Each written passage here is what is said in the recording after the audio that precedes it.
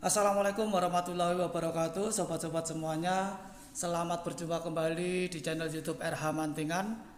Pada kesempatan kali ini saya akan menginformasikan kepada rekan-rekan semuanya Bahwa pada hari ini Senin 28 September tahun 2020 Merupakan hari terakhir pendaftaran prakerja gelombang 10 Dan pada hari ini pula adalah pengumuman kelulusan gelombang 10 atau gelombang terakhir di tahun 2020 ini. Untuk mengetahui apakah kita lulus seleksi atau tidak lulus, tentu saja kita harus membuka di dashboard prakerja, yaitu kita buka di prakerja.go.id. Kita cek pengumuman kelulusannya di situ.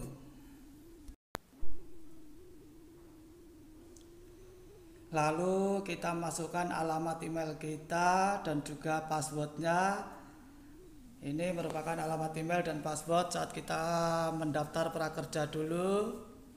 Lalu kita klik login.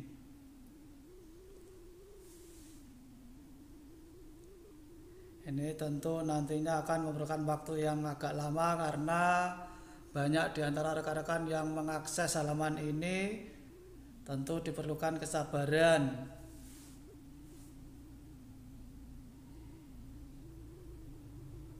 Setelah menulis password lalu kita klik login, maka akan masuk ke halaman dashboard prakerja kita.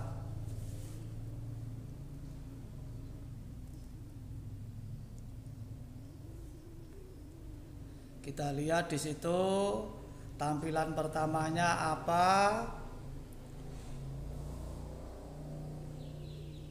Ya, kalau di sini tertampil rekening belum tersambung, ini berarti bahwa rekan-rekan lolos seleksi pada gelombang 10 ini.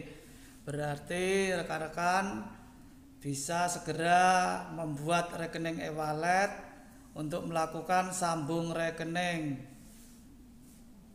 Untuk sambung rekening kita bisa menggunakan akun BNI, OVO, link aja atau GoPay. Ini terserah e-wallet mana yang lebih dulu bisa di-upgrade karena kalau belum bisa di-upgrade maka rekening tidak bisa tersambung.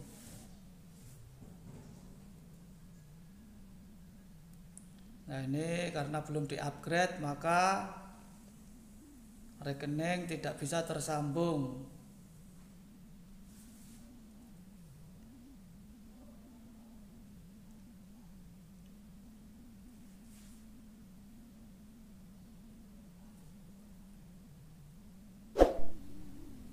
Meskipun rekening e-wallet kita belum tersambung, kita bisa mengklik tombol saya mengerti asalkan saldo prakerjanya yang sebesar 1 juta rupiah sudah muncul, kita bisa membeli pelatihan prakerja tanpa harus menunggu rekening tersebut tersambung terlebih dahulu.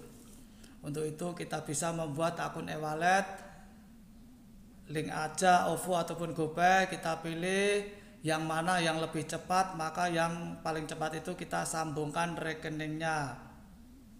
Oh ya rekan-rekan tetapi kalau tampilan pertamanya adalah seperti ini kamu belum berhasil berarti kita tidak lolos seleksi gelombang 10 tetapi kita bisa mengecek pengumumannya secara berkala siapa tahu pengumuman tersebut bisa berubah. Buat rekan-rekan terima kasih sudah menyaksikan Semoga bermanfaat. Wassalamualaikum warahmatullahi wabarakatuh.